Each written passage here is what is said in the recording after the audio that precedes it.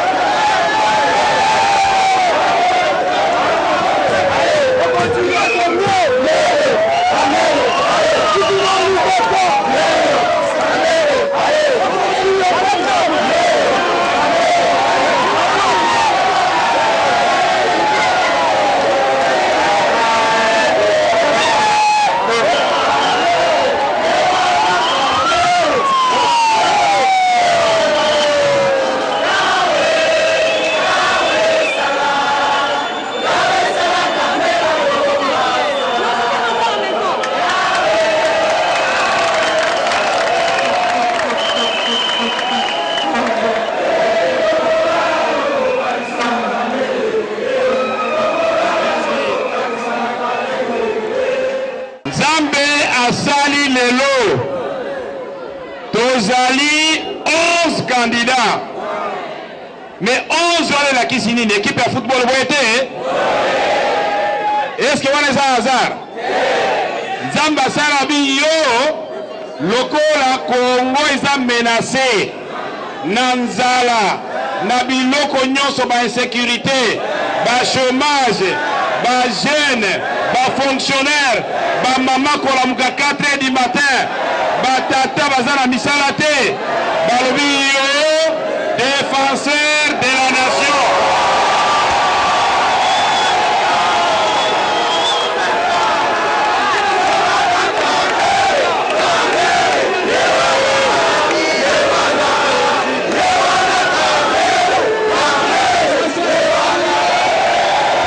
Bamama ya Kisasa, nalobi eh, mitano wana Ezali misapi mitano te mekangamaka na loboko moko, boye te?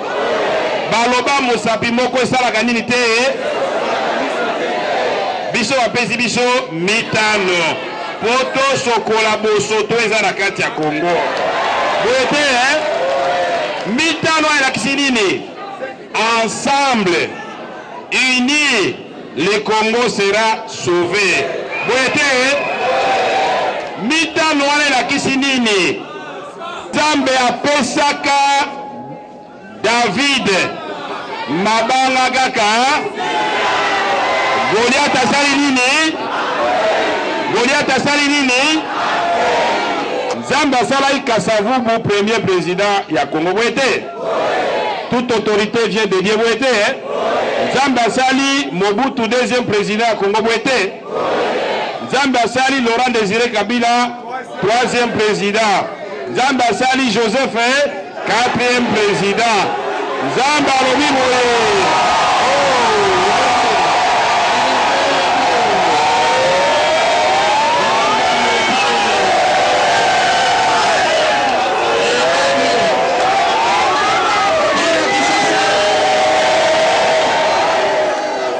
bana kisasa bandeko ngai nabi boye ntango tozo voyage wabike na tike nyonso il faut bazwa biso bato kendaka à l'étranger 50 dollars oyo baokende interieur ozokama combien 10 dollars medi Boyokaki masolo ya bato bapotanaki na Assemblee nationale?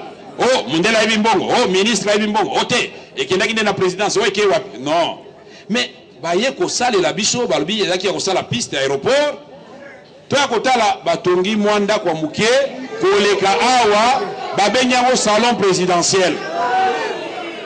42 millions de dollars est ce que c'est normal yo ozali balakisa sa mbote yo ozali tata bana chambre à coucher na bango manzanza ezali te baza konokela mbula yo olobi no nabandaka na chambre yanga tata est ce que oza tata malamu ngai nakobandaka na chambre ya bana na ngai boye te mpo soki bana balali malamu Ata nga nalali libanda, ata nalali kimia, boye te? Eza boye te bandeko? Nzela elongwe na Beni eketi Kisangani, nzela elongwe na Bukavu eleki na Mwenga, il fallait continuer mosusu, il fallait elongwa na Mbuji Mayi eleka ba Kabinda, ba refaire national numero 1 Basi ba financaki dejà oyo ya Bandundu, ba mbongo nionso wana ezali po na tango ya transition. Lelo bana Kinshasa mbote! Bana Kinshasa mbote! Bolingi bis eh? Bana Kinshasa mbote! Moto moko te a effacer histoire, boye te? Ngai nazaki ministre ya information tango ya transition. Nazaki na kati ya masolo ezali peu mur programme ya reunification ya Congo na kati ya transition. Lelo oyo bazwa biloko nyonso wana batia yango na kombo ya candidat moko.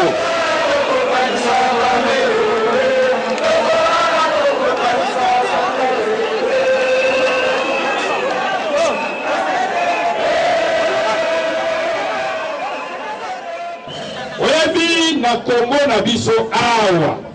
Eloko ya liboso esili kokufa ezali l'etat asili kokufa libela. Lelo oyo ye l'etat a proteger bato, l'etat nde aza koniokola bato. Soki otuna ba mama wana na wenze okoyoka mikolo nioso taxe na taxe, boye te? Soki otuni bana mboka awa Okomona policier, soda aza kolia na mutu na bino boye te? Soki otuni okoyoka juge aza kolia na mutu na bino boye te? Yango tolobi boye, kotonga l'etat eloko ya liboso il faut kokanisa armee. Soki mboka eza na armee ya malunga te ekosala mpe eloko moko te. Yango soki nazwi pouvoir, souci na ngai militaire Ba ndoto nionso ya mabe azolota mikolo oyo esala nini? Policier oyo akengelaka ntango biso tozolala pongi, me aza motu monene na kati ya mboka. Biso tokomisi ye moto ya bisengasenga, moto ya kokanga bato. Omona taximene bakangi ye 5 fois na mokolo moko. baza kotula tina ba carte ya vaccination ya mutuka est ce que c'est normal ça est ce que eza normal wana yango tolobi polisi na biso il faut to réhabilite yango policier alia banda le premier ti le 30 asala mpe économie roulage aza policier donc alia du premier jusqu'au 30 mwasi na ye azala na souci te Bana na ye souci te na basi ya ba soda na basi ya ba policier tozongiseli bango foyer social na kati ya camp tozongiseli bango kantine na bango na kati ya camp tozongiseli bango dispensaire na hôpital na kati ya camp soda avandaka lisusu na site te policier avandaka lisusu na site te eske eza boye te ya misato mpo na kotonga leta eza nini Justice oyebi ke soki mboka justice ezali te eloko moko mpe ekosalema te. Toboyi justice ya monoko ya mboka, toboyi justice oyo ya bato ya mbongo contre babola. Yango toko rehabilite justice mpe to rehabilite conseil superieur ya magistrature oyo akobebisa mpo tosi tobongiseli bino salere na bino. Bakangi ye, ba sanctionner ye na conseil superieur ya magistrature. Fonctionnaire ya administration publique. Bandeko na ngai, est-ce que okoloba que l'Etat azali fonctionnaire akomi kolala na kati ya salle de classe? Est-ce que est-ce que eza lisusu fonction publique wana? Mais eza crime ya monene. Tala Belgique basali presque deux ans sans gouvernement. Mais mboka etamboli po fonctionnaire aza na esika na ye ayebi ke bakofuta ye bien, akolata cravate na ye kitoko, akobima akozwa abonnement na ye soit ya bus, soit aza na tukutuku na ye, soit aza na VW na ye, soit aza na mutuka na ye, ça dépend na grade na ye, boye te? Tango belge akendaki fonctionnaire azalaki moto monene ti na ba annee 80 awa moto nyonso abanda kolela asala na fonction publique. Molakisi, Bandeko na ngai, papa na ngai abanda koyebisa ngai ke tango ya kala na ba mboka kuna balakisi nde bazalaki ba riche. Soki balobi ke moto aza molakisi baza kobanga ye, boye te? Lelo molakisi akoleka boye meme bana classe bazopesa esu mbote te po bakomisi ye moto pamba. Est-ce que c'est normal ça?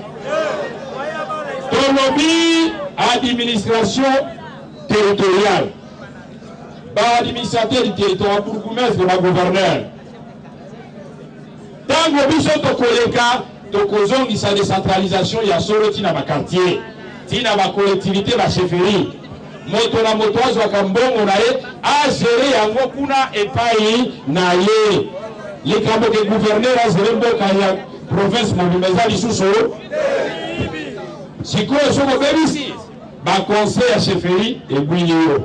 Soki obebisi assemblee provinciale ebuili yo. Boye te? Tolobi ba ndeko, soki l'Etat ezongi, to combattre corruption, to combattre ba viols ya ba mama na biso na Est kuna, to combattre insecurite. Tolobi eloko etali kelasi. Mais Gratuite ya enseignement fondamental il faut ekoma realite pe ekosalema. Et puis tolobi il faut to changer programme, totangisa bana na biso pe civisme, patriotisme. Ba leçon ya morale puisque bongo ebandi kobeba faut to recupere bana na biso boye te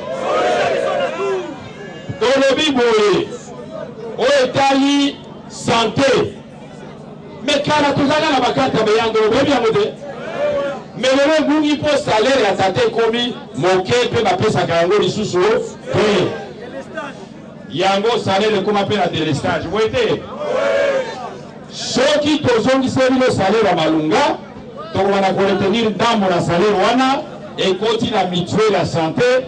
Tozongisi carte ya ayant droit, na ba mboka mosusu babenga medical aide na anglais. Jamais moto akendaka na mbongo na hopital na poto na ba mboka mosusu ya Afrique awa, akendaka na carte ba soigner ye mpe bapesi ye kisi. Basali yango na ba mboka ya pembeni pembeni awa mpo na nini azo kosala yango te?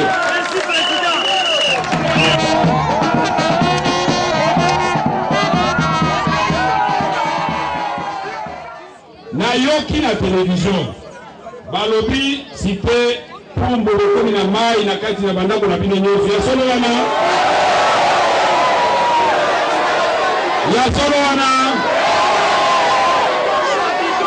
Na yoki na television ba lobi ministre a lobi bokomi na courant mikolo nionso. Ya solo wana?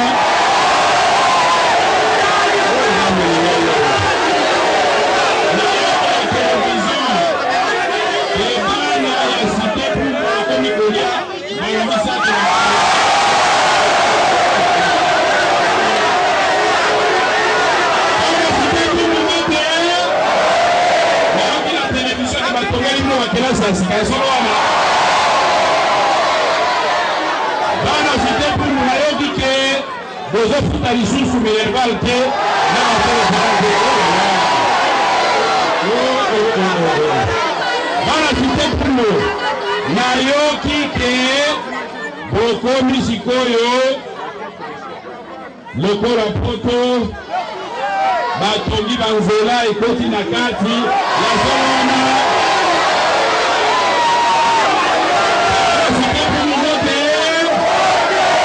Nayoki lisusu balobi eh, ba aerosols nionso ezali na mont la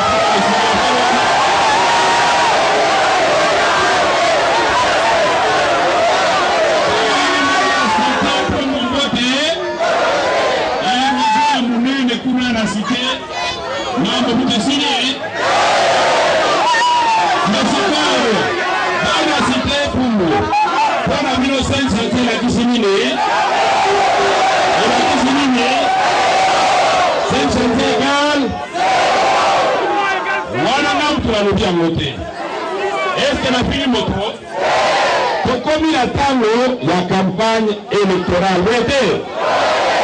Biso tozali ba opposants. Mosala na biso kotuna baoyo bazalaki na bokonzi, bolakaki peuple congolais cinq chantiers. Sikoyo bana Mongafula, bana Cite Pumbu, bana Matadi Kibala, Bana cite verte, bana cite Mambutu, bana kuna nyonso sebo bato nyonso balingi bayeba courant wana ezali wapi, mai wana bolobelaka ezali wapi, nzelo bolobelaka ezali wapi, bakelasi ya bana ezali hopital ezali maternité ezali me misala oyo balobaki bakopesa bino ezali Bajeune na biso bazali wapi? Programme na ngai mpo na bajeune des Evreux ezali boye, tokokreye bacentre mpo na korecycle bino.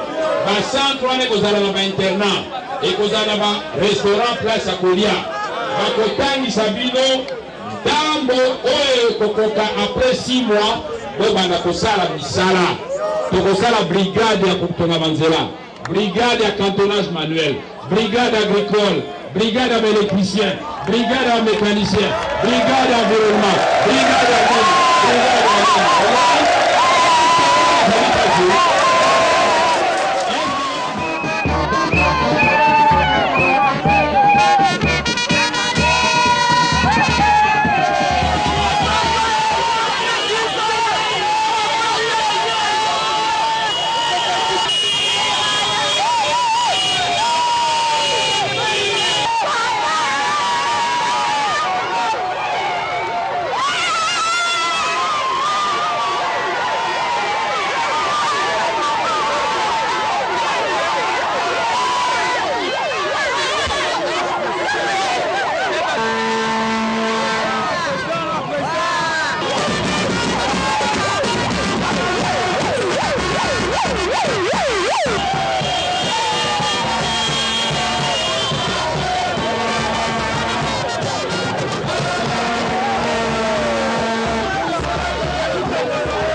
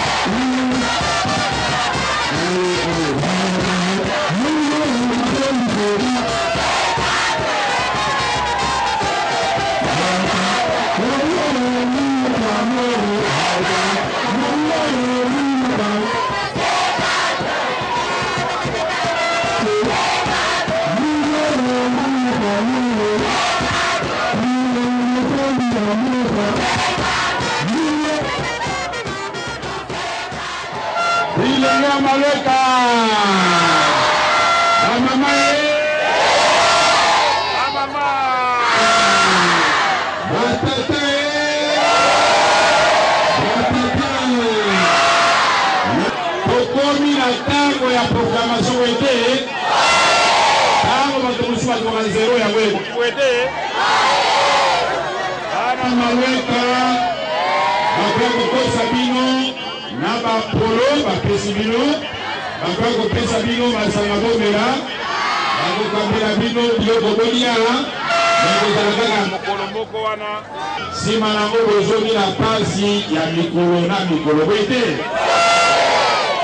biso tolobi Soki bopesi biso bokonzi, tokofuta mbodi puisque mbodi ekobongisa fonctionnaire, mbodi ekobongisa soda, mbodi ekobongisa policier.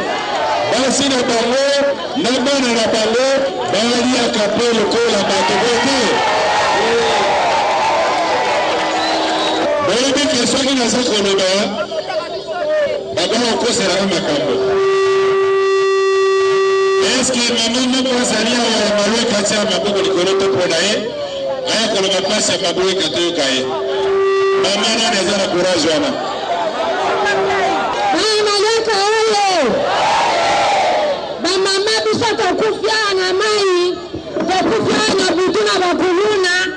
Toza kolia te, mwinda eza te, olati elamba na butu babeti yo mayi ya mabulu, tozalaka na mwinda ata mokolo moko te, maboko ekufi na bakuli na makala, tomonaka mwinda te, butu nionso batu ba butu baza kokufa.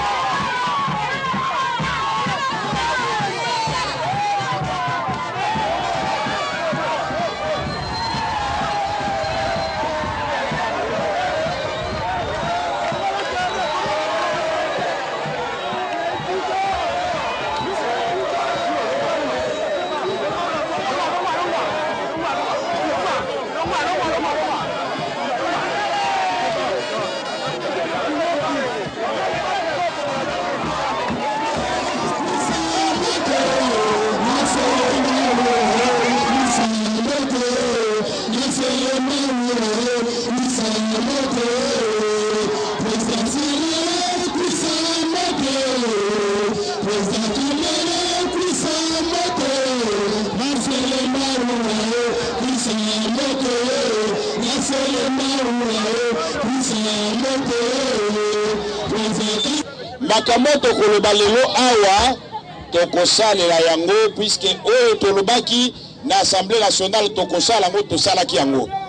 Tolakisaki na Afrique mobimba, na monde mobimba ke parlement ya Congo na kati ya Afrique ekoki mpe kofonctionne lokola parlement na poto, boye te? Sikoyo eloko tokosenga bino bopesa biso bokonzi ya solo place oyo tokobongola vi na bino, boye te?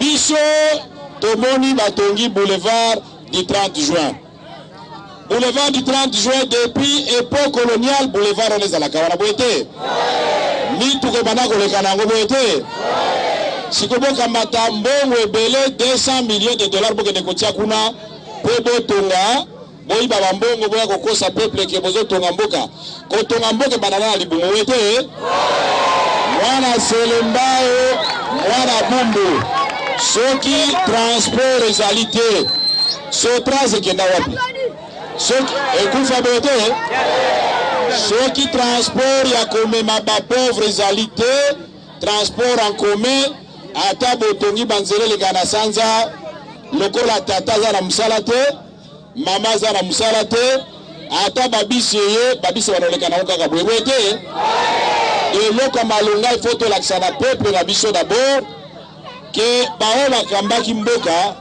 mbongo ezangaki te mais volonté politique nde ezangaki puisque so tozwi mbongo ya boulevard wana tozwi mwa ndambo ya eteni basalaki boulevard triomphal bazoloba na bana kisasa ke batie bino place ya kokanga bafoto ya solo wana vraimen bokolia bafoto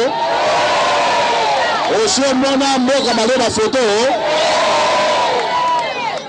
mais mwa 1 kilomètre demi wana balobi 29 million de dollars soko bakisi sunga liema Bakotia mayi na courant na bandako nyonso.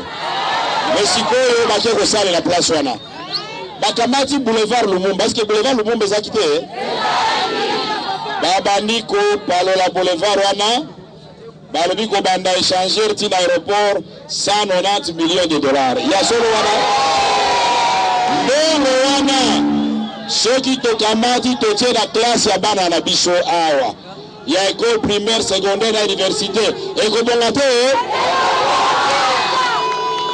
Tolobi boye, naza koya malembe.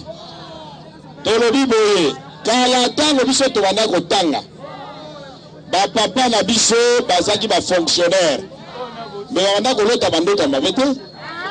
Batata na biso bazalaki bamilitaire, bapolisier mais bazalaki na souci ata moke te puisque salaire baza kofuta ye baavantage leta aza kopesa ye mwana kotanga mwana kozwa karte ya yandroit akei na hopital basoigne ye boye te me sikoyo kongo eza kokende kaka kozinda biloko wana bamboka ya nzinganzinga ezali me mpo na nini epai na biso ezali te tolobi ezali manque ya vision mpe absence ya volonté politique Ya tolobi boye tango toza kotala nde baza kokosa bato na ba television kolakisa ba ndako meme ya ba libanais ya ba indien batongi me na mituni ndako wana mwana selembao na ya bumbu akende ofanda ndako etage wana na gombe ndako wana echange nini awa na bumbu na selembao merci mingi na bapapa Merci ya ba jeune na biso nayebi ke na minute oyo bakomi kobanga botie merci mingi botika malamu nzambe abatela bino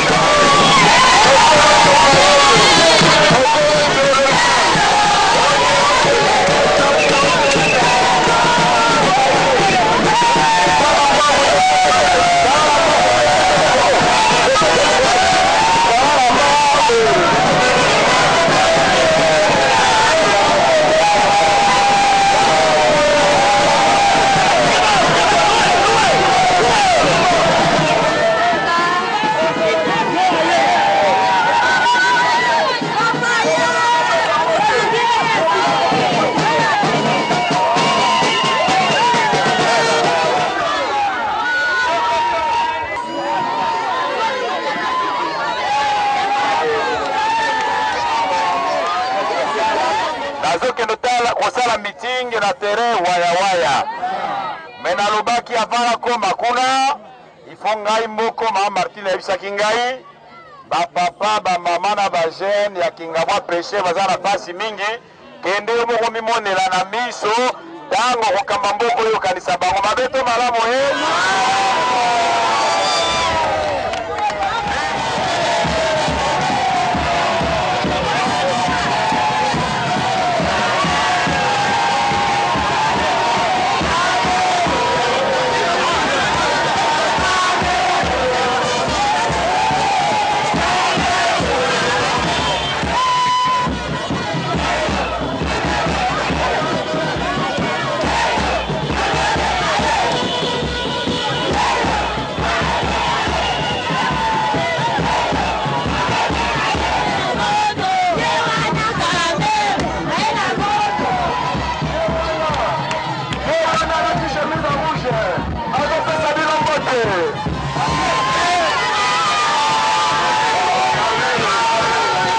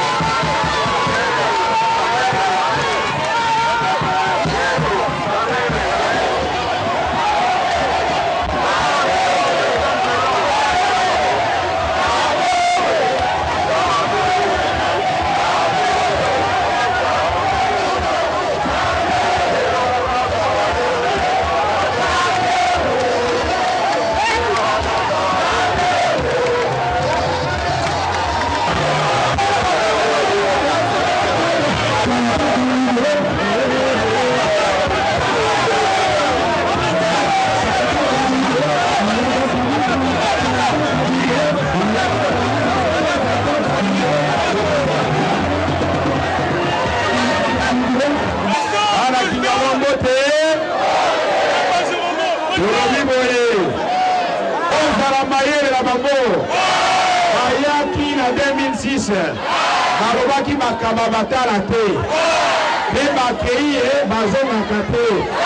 Eske bamonaki bango? Lelo babandi kozonga mbango pe bayoki mopepe ya sika e boye te?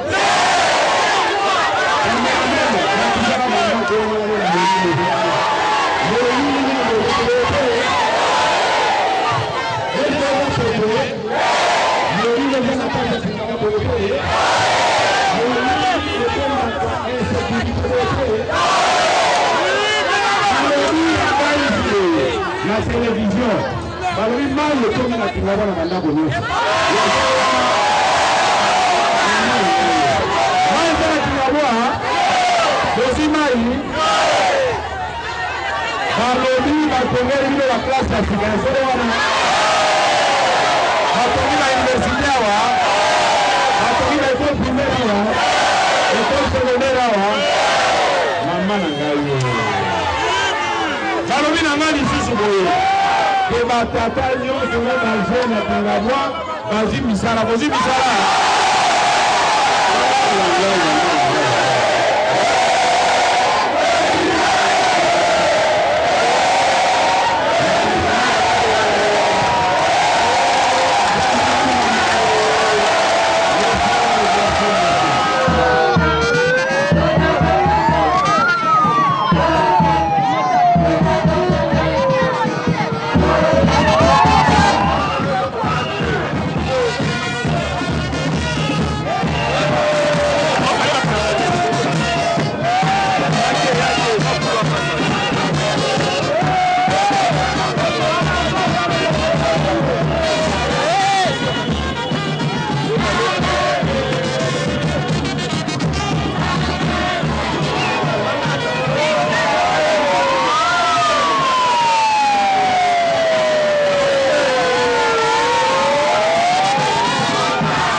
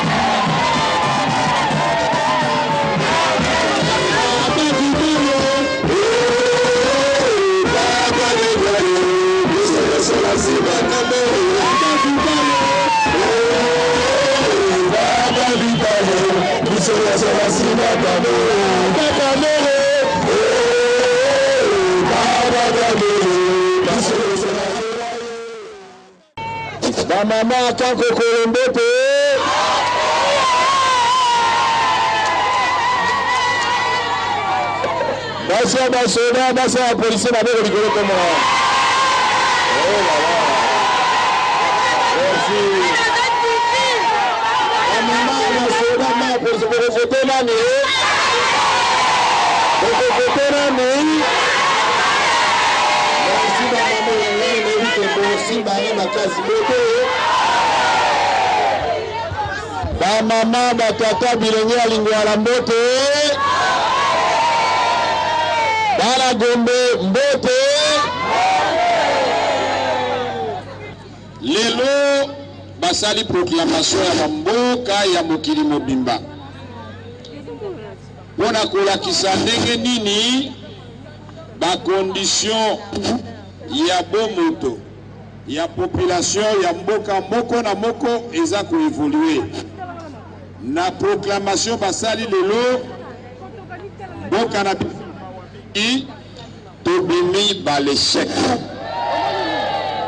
ba misu bakotuna me vital kamere oyebeli yango wapi mokanda yango oyo nalakisa bino yango oyo Ezali indice ya developpement humain oyo etali ndenge ya ko ameliorer bomoto na bino, boye te?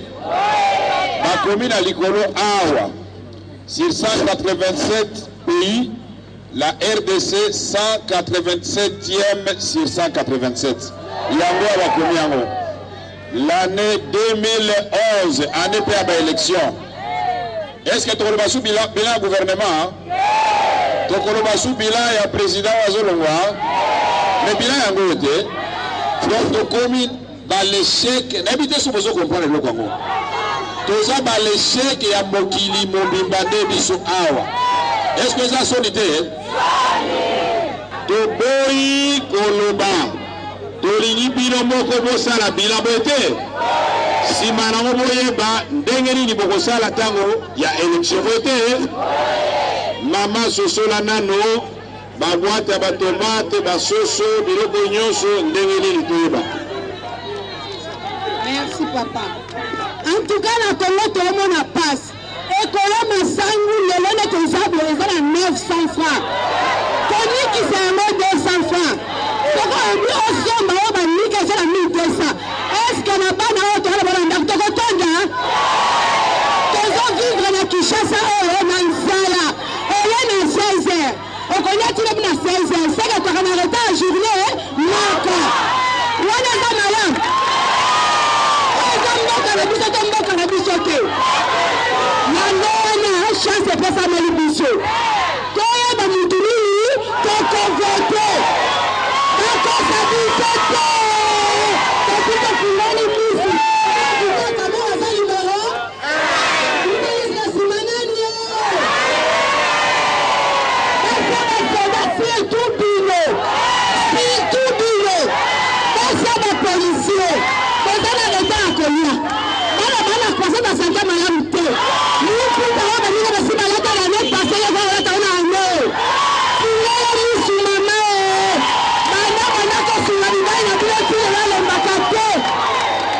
Bofungola misu vital kamere banda banda mobali na ngai azalaka detache na kapa vita nazalaka na santa malamu botala banda mbani nga azala suku leki tange na koma batu babandaka koconfondre nga lokola mwasi ya ministre lelo bakomprana ke naye nanga mutu pamba tovote vita kamere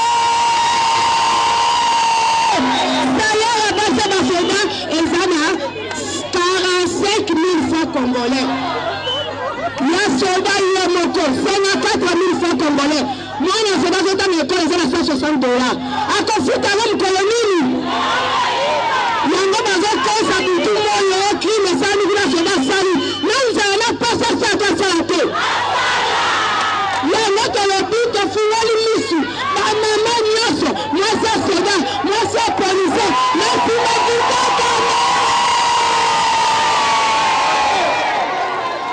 Ba mama na ngai bolamukaka chaque jour ba 4 du matin okende koteka ba mai. Ba misusu okende luka mapa, ba misusu koluka bandunda boye te. Ba misusu alamukaka 3 heures hein. Mais mama wana est-ce que santé na ye ekozala malamu ya solo? Mama naza koya mpo na bino. Bamama naza koya, naza koya, naza koya e, naya, naya e, naya. Mama naza koya na koorganize bino na baassociation, na koorganize bino na bakooperative. Leta akosunga bino Bino moko bokomisalela mpe bokoresoudre bapasi na bino. Eza malamu to mabe? Baje naza koloba boye, tobanda nano na bakuluna na bashege na bo bazanga misala. Ebele bakoma bakuluna, bashege. bazanga misala baza bana oyo biso moko toboti baza mpe na batata na bamama boye te me tata na mama baza kokoka lisusu mwana akomi na balabala me sikoyo bino bozo atake kuluna mpo na kosilisa kuluna ifo nano kotonga leta boye te kotonga leta ifo kozala na arme ya solo boye te oyo soda ayebi ke ake kosala mosala na motema kimia ayebi ke ye na mwasi na bana bakolia mwasi akolata mwana soki abeli akozwa baswe boye te policier mpe ndenge moko wana nde babengi leta juge magistrat na bato basaka na parquet Toboyi ba justice na bino ya monoko ya mboka oyo ya bato ya mbongo. Babotoli yo ndako, nsima na yango bapesi yo susu etumbu. Eza malamu te. Tolobi fonctionnaire, soki administration ezali te, leta mpe ezali sikoyo. Bino ba jeune, soki natongi leta nakosalela bino, bozotuna nga nakosala nini? Boye te? Ba jeune oyo bakoma na nzela Tokotongela bino ba centre d'abord. Tomemi bino kuna eza lokola internat, boza pe na restaurant boza kolia mais boza pe kozwa formation ya 6 mois po koyekola mosala. Oyekoli soit ya construction soit ya electricien soit ya mécanicien soit ya agronome eske wana malamu te jeune wana soki alongo kuna aye akosalela mboka na ye akoproduire mpe ye moko akozwa lifuta puiske tokopesa ye mpo na kobanda 100 dollar akozwa 100 dollar na suka sanza Mabe to malamu? Eske kuluna ekosila te?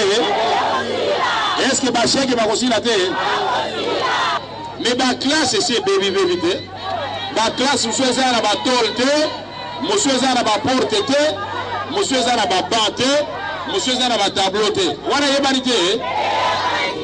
Au lieu ya kotonga ba immeubles ya milayi, totonga ba classes ya bana na biso.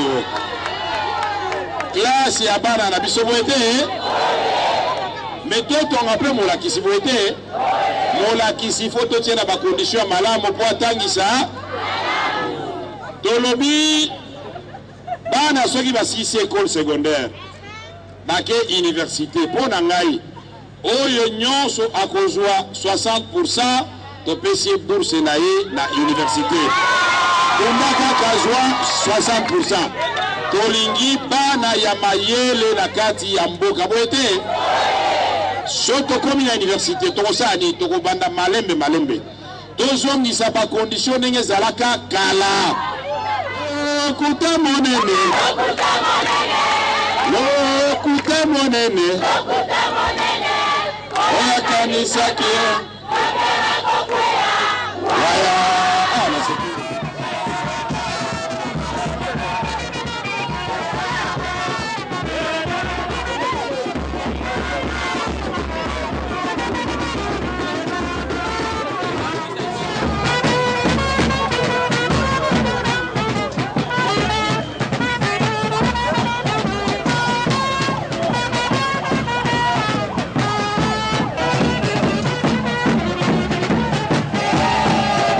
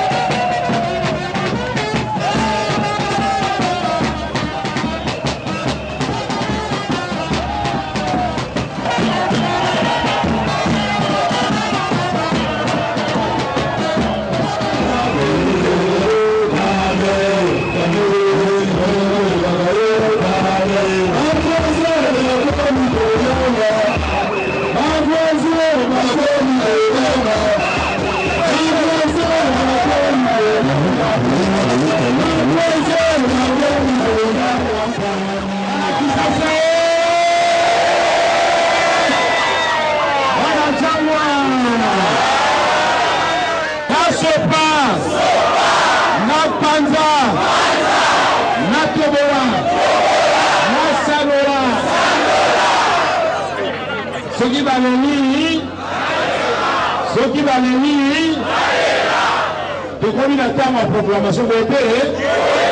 Bana changu na nini bana mibino na merci mingi boye te?